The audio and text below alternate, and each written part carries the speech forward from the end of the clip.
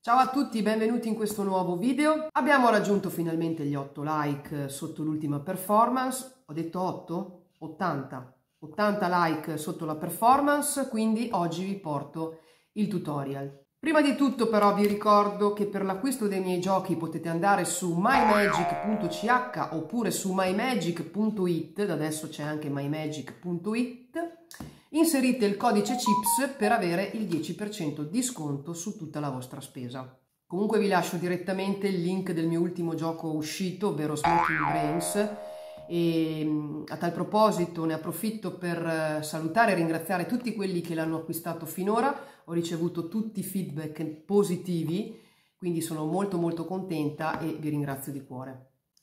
Bene, detto ciò, mi bevo un sorsetto di limonata e partiamo con il tutorial. Allora, per fare quel gioco lì, e vi lascio il link in descrizione se non avete ancora visto la performance, ovviamente vi serve un, um, uno stack. Ora non sto qua a dirvelo, ve lo trovate in descrizione. Vi troverete eh, tutte quelle carte che andranno messe in determinate posizioni. 10 di quadri, 8 di quadri, 3 di quadri, eccetera, eccetera. Poi vedrete in descrizione queste carte e accanto ad ogni carta ci sarà anche la sua posizione, quindi 10 di quadri numero 1, eh, 8 di quadri 9, 3 di quadri 10, eccetera, eccetera.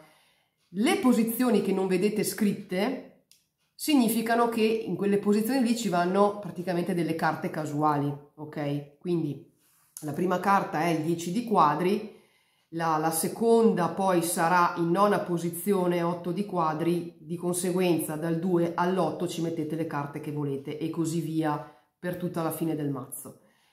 Alla fine della fiera avrete sulla cima il 10 di quadri e eh, come ultima il 7 di picche che sarà la vostra, la vostra carta chiave. Non fatele vedere subito le carte, iniziate a mescolare fintamente e solo dopo dite che ovviamente avete un mazzo di carte con tutte quante carte diverse.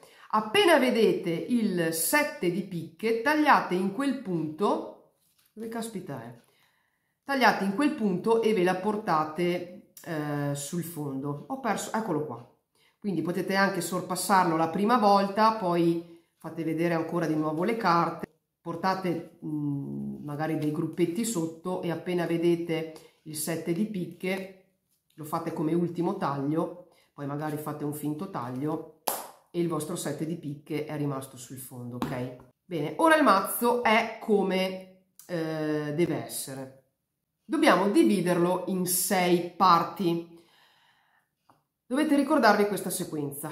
9, 9, 8, 9, 8, 9 la lascio scritta. 998989 questo significa che dovete fare 6 mazzetti esattamente in questo ordine. Quindi contate 3 6 9 dicendo che andate a fare dei mazzetti più o meno uguali. Poi 3 6 9 ora 8 quindi 3 6 più 2 8 fate il terzo 3 6 9 ora tocca 8, 3, 6, 2, 8 e l'ultimo sarà da 9. Disponeteli così i mazzetti, quindi il primo qua, il secondo qua, il terzo qua, il quarto, il quinto e il sesto. Ora dite allo spettatore che può scegliere o le prime 6, quindi praticamente queste, oppure le ultime 6. Adesso vi faccio vedere il caso in cui lo spettatore sceglie le ultime. Se sceglie le ultime, ribaltate i mazzetti di faccia, in questo modo qua, e andate a prendere appunto le ultime carte, anzi l'ultima carta di ciascun mazzetto in eh, modo casuale, non occorre che andate in un ordine preciso, anche perché queste qua poi andrà a mescolarle, ok? Questi mazzetti vanno ehm, messi come erano prima. Potete fare eh, così, giusto? Avete lasciato praticamente il mazzo come era, oppure se volete andare meno nell'occhio, adesso faccio dei mazzetti a caso, potete fare una cosa di questo tipo, potete fare tipo così la prima volta, poi così e poi così, è la stessa cosa, oppure meglio ancora, e questo vale anche per le carte eh, di dorso se lo spettatore sceglie le prime, potete fare una cosa di questo tipo. Questo su questo, questo su questo, questo su questo, così e così. Così può sembrare anche, insomma, che avete assemblato i, i mazzetti veramente in, in modo casuale, ok? Quindi se lo spettatore sceglie le ultime carte, rigiriamo i mazzetti di faccia, riassembliamo i mazzetti di faccia e lasciamo il mazzo di faccia.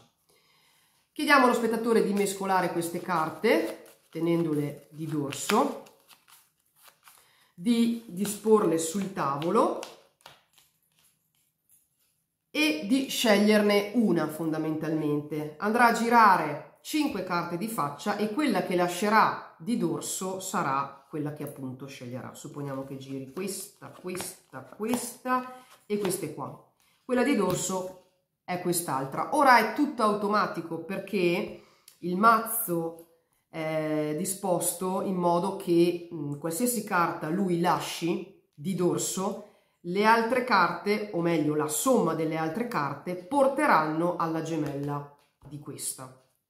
Quindi andiamo, andremo a fare la somma, 7 più 8 15, più 11 26, più 1 27, più 2 29.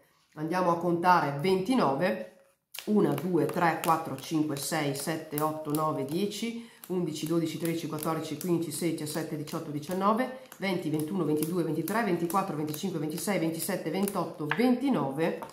Qui ci sarà il 4 di picche e qui ci sarà il 4 di fiori, la gemella quindi della carta che ha lasciato di dorso lo spettatore.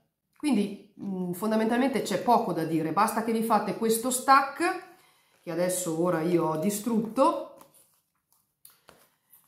eh, finti miscugli. In questo modo qua, fate vedere che le carte sono tutte quante diverse, appena vedete il 7 di picche, ma magari non la prima volta ma la seconda, quindi fate vedere fino in fondo. Poi eh, andate a tagliare al 7 di picche, così parlando con molta nonchalance, fate un, un finto taglio. Ed ora andate a fare 6 mazzetti nella sequenza che vi ho detto prima, quindi 9, adesso lo faccio a caso, eh, 9, 8, 9, 8, 9. Se sceglie le prime, ok, andate a prendere le prime carte, la prima carta di ogni mazzetto, raggruppate ora il mazzo nella maniera in cui volete voi, purché mm, rimanga nella maniera esatta, potete fare anche come ho fatto io nel video, quindi nella maniera più banale, tipo questa, se volete ci sta anche un altro falso taglio, anzi fatelo, che è meglio. Poi andrà a mescolare queste carte, lo spettatore, le mettete di dorso, e poi andrà a girarne 5 di faccia, una resterà di dorso, andrete a fare la somma di queste carte e a quel numero ci sarà la gemella della sua, molto semplice. Bene, ci ho messo un bel po' a fare questo gioco qua perché costruirmi lo stack non è stato per niente facile, ci ho messo un po' di tempo perché dovevo fare in modo che tutte le somme portassero appunto alla gemella della carta lasciata e spesso volentieri mentre facevo lo stack eh, avevo delle incongruenze, cioè ad esempio... Ehm, adesso non so come spiegarvi, comunque tipo la trentesima era già occupata da un'altra carta, capito? Quindi mi toccava rifare tutte le somme, tutte, scegliere altre carte, eccetera. Vabbè, ma comunque eh, ce l'ho fatta, quindi vi ho portato questo... Suona il telefono, vi devo abbandonare, spero che il gioco vi sia piaciuto, lasciate un like, noi ci vediamo al prossimo video. Adios!